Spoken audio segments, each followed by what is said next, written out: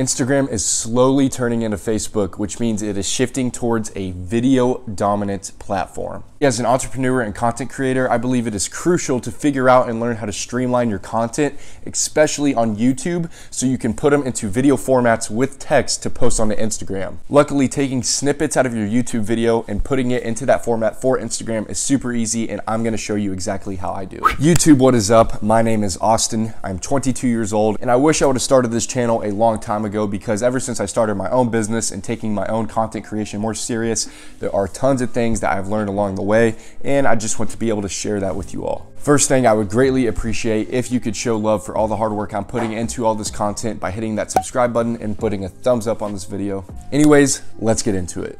All right, so the first thing you have to do is get your finished edited video onto your phone from your computer. For me, I use iMovie to edit and render my videos. So once I'm done with that, I will airdrop it to my iPhone. And yeah, go into your camera roll and trim out the section of the video that you want to use for your Instagram post. Now, once you're done with that, you're going to want to download an app on your iPhone. I believe it's on Android too, called Videoshop. It is a free app, and they do have a paid version for $5 a month. And I used to pay for it, but the additives that you got with it weren't uh, worth the $5 a month in my opinion. But yeah, so you want to import your clip that you just got done trimming in your camera roll. And once you upload it, you might have to trim it just a little bit more to get it perfect. Remember, Instagram allows you to post a video up to one minute, so uh, it can be that long or you can make it a little bit shorter. And after you do that, you're gonna wanna click the resize button towards the bottom and you're gonna wanna click the Instagram, the one by one ratio to the left. And what that will allow you to do is to pinch and crop your entire video into the picture. And the reason you want to do this one over the other one is because uh, this will allow you to show the full video with the full text for your thumbnail. I'll go ahead and click text at the bottom. We're going to add some text to the top and bottom. Uh, I like to do all caps for the most part. And remember, really be strategic about this. Make it something that is enticing, something that's going to make people want to click the video and listen. I also like to add the glow effect because I think it pops a little bit more. And to make your font bigger and smaller, you simply just like pinch the screen or zoom it.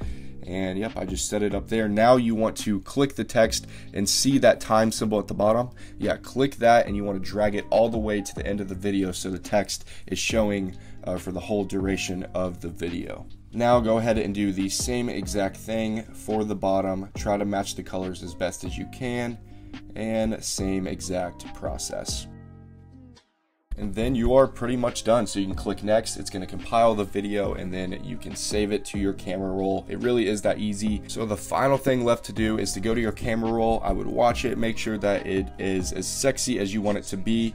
And then you can go ahead, open Instagram, open your video and look how perfectly cropped it is. So before you post it, I would definitely go to the cover, aka your Instagram thumbnail and choose whatever best facial expression or emotional expression uh, you think is going to get people to click the video. And that is it. I already made this video in the past and posted on Instagram. I will show you a brief snippet of what it looks like reason you might be skinny fat, and this could apply to you if you have been lifting weights but still aren't seeing the changes in your body that you want, would be because you are not eating enough protein. Now, let me try to simplify this. So, if you are lifting weights on a good program three to five days per week, you're progressive overloading, you're doing everything right in the gym, but you aren't eating enough protein to support the recovery and the muscle gain, you're not gonna really improve your body composition. Think about it. How many people do you know that work their ass off in the gym but really never look any different year to year? Now, of course, there's gonna be other and it really is that easy. And I want to kind of touch on this, but I think it's hard for us to understand, you know, us small creators, small YouTube accounts, small Instagram accounts,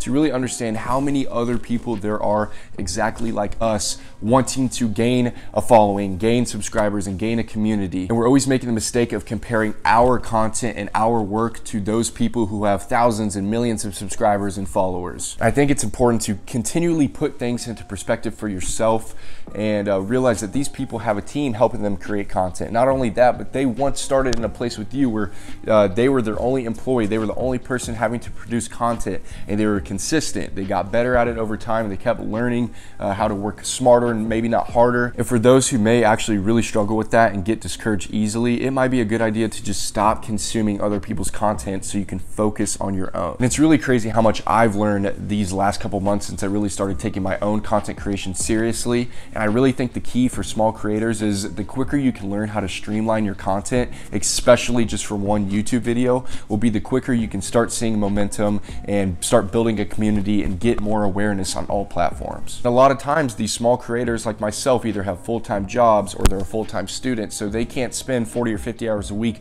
focusing on creating content. So our time is very valuable and if you can create content on multiple platforms for one to two weeks just off one YouTube video, that is going to be very, very efficient and effective with your time. And as I get better and as I learn more and as I try new things with my own content, uh, I'm seeing more organic growth on my Instagram, on my podcast, on my YouTube than I ever have. All I'm saying is I'm doing it, I'm sharing what I have learned, and I'm telling you guys that I am seeing more growth out of doing what I've been doing than I ever have doing anything else ever, period. Although the majority of content on this channel is fitness related, I just have a huge passion for digital marketing, social media, and entrepreneurship in general. So with that, if you do check out my content on other platforms, uh, please leave me a comment of any topic regarding entrepreneurship or really just anything that you would like to hear me speak about because I would love to help you all and uh, share my own experiences. I seriously appreciate the support so much and I plan keeping the videos rolling out. Thank you so much for watching this video. I'll see you all in the next one.